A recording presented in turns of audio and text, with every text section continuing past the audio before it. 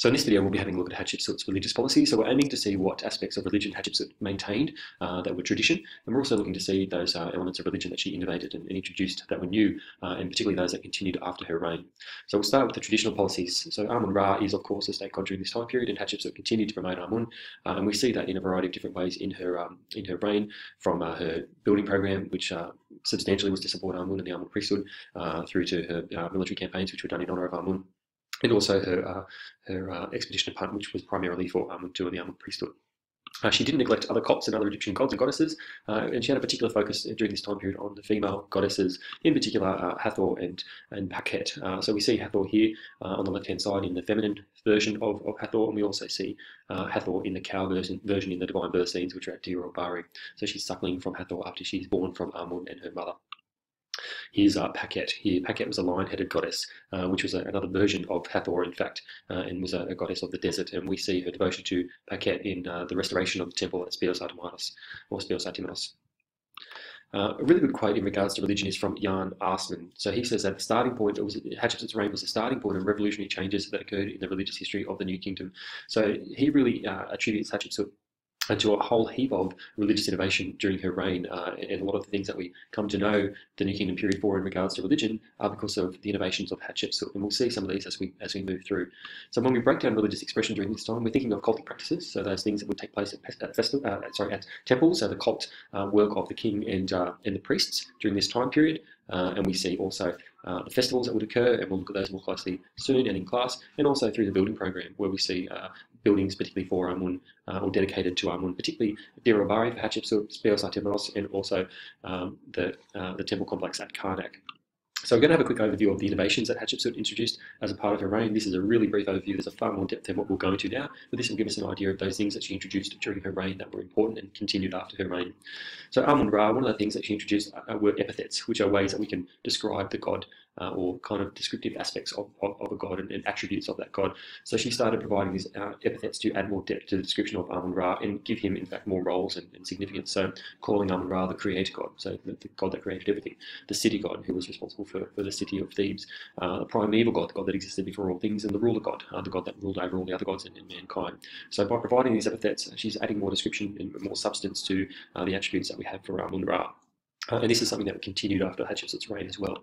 We also have divine oracles, which is where Amun is expressing uh, his will, uh, in particular that Hatshepsut become king. And we see that in the Red Chapel uh, scenes that are depicted where there's an oracle of Amun which uh, would predicts the fact that Hatshepsut should become king, therefore justifying her claim to the throne. And this is also something that's continued by later kings after her reign. We also see personal piety introduced. So this is the concept of having a personal relationship with a god, which really didn't exist before this time period.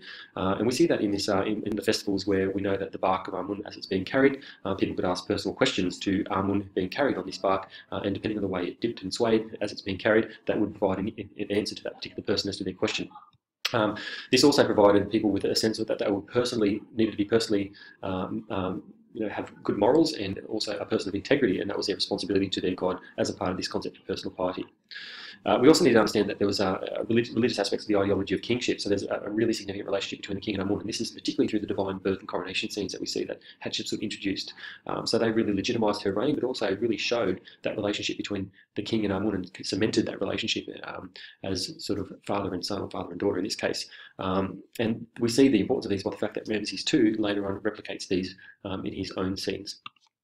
We also have uh, an influence, as we mentioned before, on the sacred feminine. Uh, we've mentioned Hathor and Pakhet, uh, Pakhet at, at, the Temple of Spiros uh, and Hathor in the divine birth scenes. But we also have the, a, chapel dedicated to Hathor at Deir, uh, Deir el-Bahari, um, and that uh, actually provides a link, and we'll look at more of this in class, provides a link between Hathor and Isis and kind of sees a little bit of a merging of them. So we kind of see an emphasis on these three uh, goddesses during this time period. Uh, festivals are another innovation for Hatshepsut. She introduced two new festivals during her time period, which continued after her reign, the Beautiful Festival in the Valley and the Opet Festival, both carrying that bark of Amun, as you can see in this image there.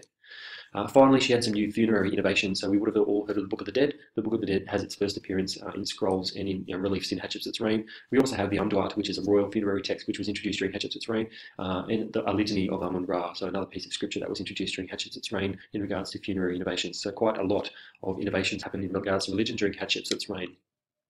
Finally, a couple quick quotes from historians about an overview of, of religion, and they are quite divided, some of these historians. Uh, Barry Kemp says that uh, monarchy required the backing of myth and the regular reinforcement of ceremony. So, in other words, to, to, be powerful as a king, you needed to have a mythology behind you, and in Hatshepsut's case, it was through the divine birth scenes, and they were reinforced by the ceremonies that took place in the cultic practices at the temples. And they overcome the shortcomings of an individual king, and Hatshepsut's major shortcoming is obviously the fact that she is female. So, Barry Kemp sort of sees this as, as really important for Hatshepsut, the, the backing of myth and the regular reinforcement of ceremony. So, good little quotes that we can use. And he, he also talks about the mutual absorption of king and Amun, particularly through these divine birth scenes. Uh, so the king and Amun become almost one.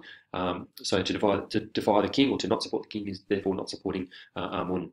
Uh, so it ensured that Hatshepsut maintained the support of her people and her administration.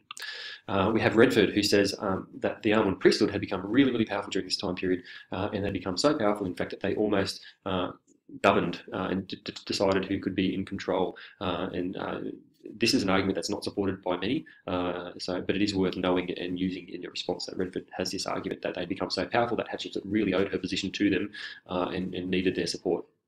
Uh, finally, O'Connor tells us that uh, he completely disagrees with Redford and says, no, that's not quite true. The priests, particularly Amun priests, were always subordinate to king and could never really um, undertake a, divisive uh, theological initiative. Um, so a bit of an overview of Hatshepsut's religion. It's a, quite a long video, I apologise, but there's quite a lot going on there.